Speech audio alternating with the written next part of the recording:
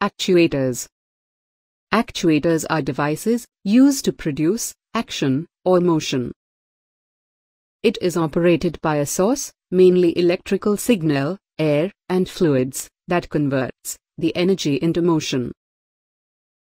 Actuator's output is usually mechanical, that is linear displacement, or velocity. Actuation can be from few microns to few meters. The common example of actuator is forward and backward movement of car seat with the help of actuator. For the right working of actuators, it follows some functional flow, which is called as actuator functional diagram.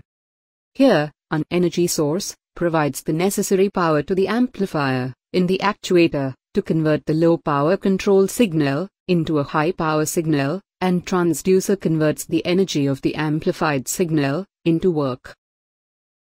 Actuators are of two types hydraulic actuators and pneumatic actuators. Hydraulic actuators. It consists of a hydraulic cylinder and a motor that uses hydraulic power to facilitate mechanical operation. These mechanical motions are delivered as linear displacement, rotary motion, or reciprocating motion. Pump, driven by a prime mover, that is, electric motor, creates flow of fluid. For clear understanding, we can look at the working of a hydraulic forklift. Here, the pump pushes the hydraulic fluid into the lines.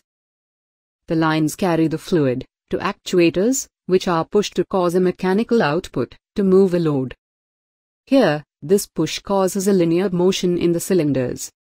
Hydraulic actuator are of two types. Linear hydraulic actuators. Rotary hydraulic actuators. Pneumatic actuators. The actuators that are designed to operate on compressible fluid, generally air, is known as pneumatic actuator. The pneumatic actuators use the pressurized air as input and change it into mechanical motion. More specifically, pneumatic actuators are devices that change the pressure obtained by compressing the air into mechanical energy. Pneumatic actuators enable considerable forces to be produced from relatively small pressure changes. To know more, sign up to www.lynxe.in.